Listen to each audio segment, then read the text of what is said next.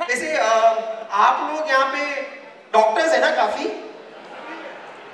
ओ God सबसे पहले मैं आप लोगों से जानना चाहूँगी कि आप लोग ऐसा अजीब सा क्यों लिखते हैं? नहीं, लेकिन क्यों? किसी को कुछ समझ में नहीं आता मतलब बचपन में पले पड़े हम सब साथ में, हमारी राइटिंग ठीक रह जाती है, आप लोग को क्या हो जाता है? क्यों करते हैं आप लोग ऐसा?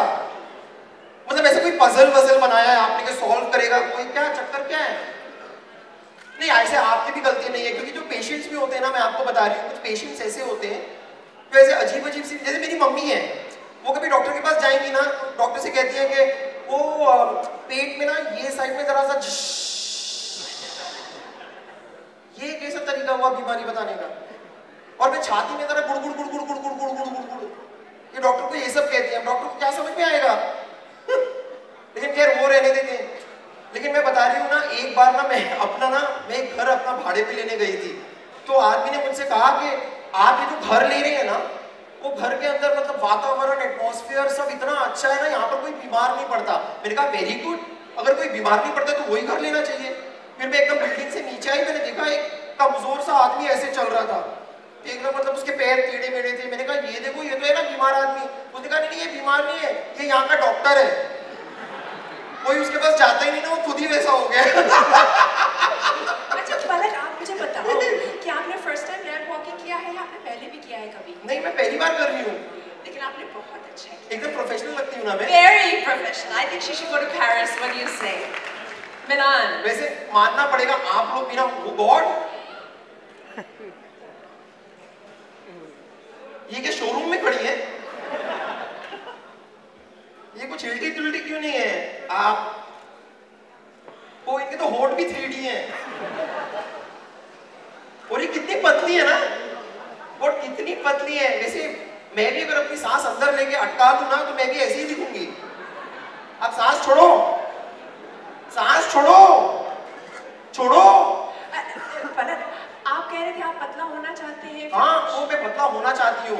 मैंने ना एक बार पतला होने के लिए मैं भी डॉक्टर के पास गई थी। अब आप लोग यहाँ पे बैठे हैं तो आप लोगों को बता देती हूँ। डॉक्टर के कहने पे मैंने ट्यूबलाइट बल्ब ये सब खाना शुरू भी कर दिया था। बल्ब खाने को कहा है? मतलब ट्यूबलाइट और बल्ब खाने को मतलब डॉक्टर ने मुझसे कहा प्लीज़ ईट लाइट। खा रही थी लाइट लेकिन उससे कोई असर हुआ ही नहीं। फिर डॉक्टर ने मुझसे कहा था कि तुम एक काम करो पलक तुम ना दिन में दो घंटा रोज खेलो उससे तुम्हारा वज़न घट जाएगा। तो पिछले एक महीने से मैं रोज दो घंटा खेलती हूँ लेकिन मेरा वज़न कम हुआ ही नहीं। क्या खेलते हैं मतलब स्पोर्ट्स मैं वो फ़ोन पे स्नेक वाला आता है ना गेम ऐसे स्नेक जाता है ऐसे जाता है ऐसे जाता है। फ़ोन पे गेम्स खेलते हैं। वो वाला खेलना थोड़ी हुआ she meant like you know sports and things like oh वो तो बात मुझे समझ में आई ही नहीं नहीं लेकिन लेकिन आपकी फिगर बहुत अच्छी I think you have the best figure in this whole show what do you say है ना thank you thank you so much लेकिन आप वैसे ना काफ़ी इंटेलिजेंट टाइप की लग रही है। मैं आपसे एक सवाल पूछूँ इंटेलिजेंट वाला? हाँ जी बताइए। ठीक है आ, आप मुझे बताइए कि एक ना एक तालाब है उसके अंदर दस मछलियाँ हैं उसमें से एक मछली मर जाती है तो तालाब का सारा पानी ऊपर चला जाता है कैसे? वेरी मैथमेटिकल बताइए बताइए कैसे? तालाब का पानी ऊपर कैसे जाएगा? एक मछली मर गई। गूगल पे चेक करूँ? नहीं इतना इजी है। एक मछली मरेगी बाकी की नौ मछलियाँ रोएँगी रोएँगी तो पानी तो बढ़ेगा ना लेवल कुछ समझ में ही नहीं आता इनको। Palak I think you very sweet very sweet आप इस शो में आए इतना मज़ा आया ना I can't tell you even Julia Roberts इतनी रौनक नहीं लगा सकती थी. What do you say right वैसे जब मुझे कहा ना कि यहाँ पे फ़ैशन शो करने आना मैं एकदम घबरा गई थी क्योंकि फ़ैशन शो का नाम सुनते ही ना ऐसा मैल फ़ंक्शन होता है ना ऐसा सोच के ना मैं एकदम घबरा गई कि मेरे साथ कुछ गड़बड़ ना हो जाए। लेकिन मुझे ये बात भी समझ में नहीं आई। अगर मैल फ़ंक्शन फीमेल के साथ होता है तो फीमेल फ़ंक्शन होना चाहिए ना। मैल फ़ंक्शन क्यों बोलते हैं? ओके ओके ओके हो गया हो गया। अगर आप चाहती हैं कि मैं यहाँ से चली जाऊँ तो मैं चली जाती हूँ।